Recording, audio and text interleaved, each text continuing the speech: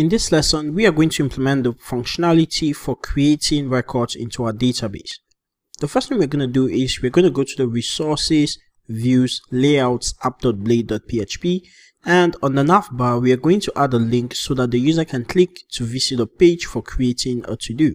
So I'm going to duplicate this list item and this is going to go to the create to-dos page. So this is going to be slash new to-dos which means our next step is to actually register this route.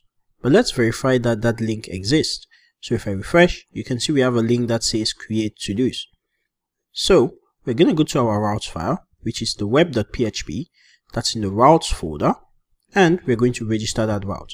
So route get, and this is going to be new to-dos. Remember, it has to be exactly the path that you provided right here and we're going to say this should go to the to-dos controller at create method. So we'll go to our to-dos controller which is in the app http controllers folder. Then here we're going to create a function called create. In this function, we simply want to return a view that the user is going to use to create a to-do. So this is going to be to-dos create. So we would go to our to-dos folder and we would add a new view called create.blade.php. Since we want this to look exactly like our other templates, we are going to extend the main layout. So extends the layouts.app template. Then we're going to define a section called content and section. In this section called content, we are going to have a form. This form is going to have a form group. And let's talk about the fields we need. We need a field for the name, we need a field for the description, and we need a field for the completed. So the name field is going to be an input of type text. So I'm just going to give it a class of form control and we want to make sure to give it a name of name. So if we come back to application and click on create to-dos, you can see that it renders that view right there. And we have that input. But we probably want to make this more beautiful. So let me just look at how we did this. First, we have an h1 and then we have a div of row justify content center. So let's use the same format. So I'm going to have an h1, the text center that says create to-dos. And then we're going to have a div of row that justify content center. And here we're going to have a col md of 8 and I'll paste the form right there. So great, here's our form. So we probably want to give this a margin y of 5 and would like to put our form in a card. So this is going to be a card dot card default and then we're gonna have a dot card header. And this is going to be create new to do. And we're gonna have a card body. And in the card body we're going to paste our form. Great. So let's give a placeholder to this field. And this is going to be name. And for the second one we're gonna have a form group. And this is going to be a text area dot form control and we're going to make sure the name is description. So if we refresh this page you can have the name and the description. Let's give the description a placeholder. Placeholder is going to be description. And we probably want to make this smaller so rows and columns of 5 Great, so we have a name and we have a description field for our to do. Finally, all we need is a button that is going to be the submit button for this form. So here we're going to have a form group and here I'll have a button dot button dot button success and this is going to be saying create to do. If I refresh, great, that's our button. Probably want to have this button at the center so we can have text center on the form group. Great. So here's our form for creating a to-do. When the user types in the name and the user types in the description and the user clicks on create to-do, then automatically a new to-do should be created in the database for the to-dos table. And when we come to view all to-dos, we should see the newly created to-do right here. So how do we make this happen? First of all, we need to make sure that this form is of method post so that it makes a post request to the server. Second, we need to specify the action, which is the URL that is going to handle this request. In this case, we are going to add create to do or maybe store to do's.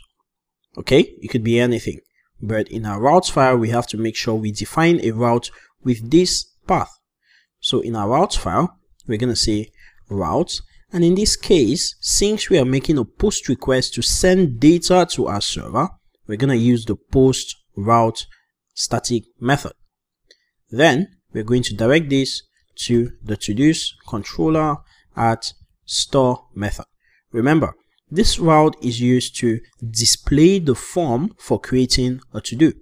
And this route is a post route that is used to actually save the to-do to the database. So, to display the form, we use the create method. To actually save the to-do to the database, we use the store method. So, let's go to the to-dos controller and create the store method. Public function store.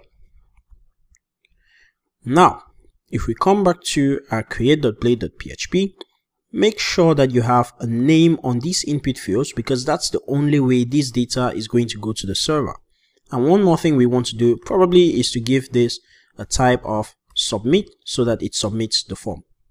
So let's go ahead to our to-dos controller and I'm going to use the DIDOM function and I'll call a function called request. Okay. Now, we're going to talk about this in a second.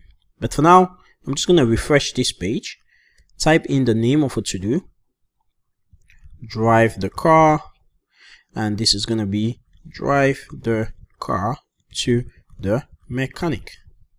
And I'm going to click on create to-do. And what do we see? We see a 419 error that says your session has expired. Please refresh and try again. Now, this is a really popular error that you're going to see in your applications. And the reason behind this is because Laravel automatically has cross-site request forgery protection. This is a token that you have to send every time you're making a post request or a patch request or a delete request to your Laravel server. This is protection to make sure that the post, put or delete request is not coming from an external source. To provide that token, we need to come to all forms that we create in Laravel and make sure that we provide a directive called at CSRF. And let me show you what that's going to do. If we go back to our form right now and refresh and we view the page source, you can see that right now in our form, we have this input right here which is hidden and the value is a token. And this token is a secret token that Laravel is going to check on the server side to make sure that it actually is coming from our website. Okay. Basic CSRF protection provided by Laravel by default. So now if we put in drive the car and put in drive the car to the mechanic and click on create to do, what we have now is a request object and this is the DIDOM we placed in the controller.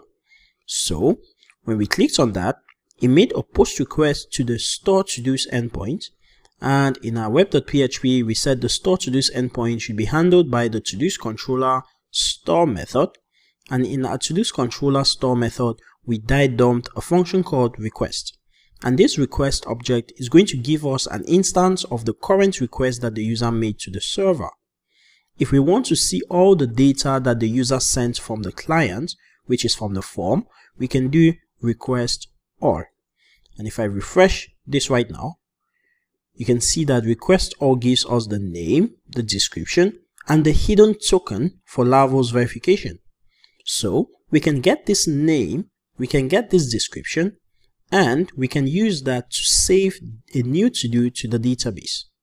So what we're going to do here is we're going to create a new variable called data and this is going to be request all. And this data now contains all of the data coming from the client side. Then we are going to create a to-do. So we're going to say to-do is going to be equal to new to-do. And this is a new to-do model next we are going to say the to-do name should be equal to data name property then the to-do description is going to be equal to data description property. Notice that this is what is coming from the form and this is our model itself. So we created a new instance of the model and we assigned a name property which is going to correspond to the name field in our database table and we assigned a description property which is going to represent the description field in our database table. Next, to save this, we're going to call the save method. And this is going to make a database query to save that to do to the database. Then we are going to redirect the user back to the page to view a list of to-dos. So we're going to return, redirect, and we're going to pass in the to-dos path right here, which means after saving a new to-do, we redirect the user to this page. So let's go ahead and try this. Click on continue and we have an error that says general error field completed doesn't have a default value. And that is because we have saved a value for the name, we have saved a value for the description, but we've not saved a value for the completed field. So in this case, we're going to say to do completed is going to be equal to false by default. So let's try submitting again. And now everything goes well and you can see our to do right here has been added to the list. And remember, this list fetches all the to-dos from the database. If we check our database directly, refresh, you can see our to-do right here is appended at the end. This is awesome. So if we view our to-do, you can see the ID is 6, and we can see the details of the to-do that we created. Let's create another one. If we go ahead and create a to-do, maybe mow the lawn, and we could just paste in some dummy content dummy content for mowing the lawn and if I click on create to do you can see it creates the to do and it redirects us back to this page mow the lawn and we can click on view and we're going to see the description alright so in this lesson we learned how we can create data into our database using our model so you create a new instance and then you create or assign properties for that instance using the data you got from the form. So to do name is going to be equal to the data we got from the form and it's going to get the name key. The description is going to be the description and the completed is going to be initialized to false. And then we use the save method to persist these values to the database. Then we redirect the user back to the to-do page.